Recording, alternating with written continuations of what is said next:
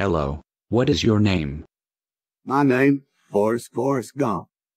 I can't tell other people are buying Bibles for the race. Hi Forrest, my name is Caillou Hi, Caillou. It's good to meet you. Here, have yourself some. some. Life is like a box of chocolates. That's what my mom always used to say. Hey, you ate all my chocolates. You not getting away with this? Run, Forrest, run. Run Forrest run. More like, run Caillou run. Your son Caillou ate all the whole box of my chocolates without sharing.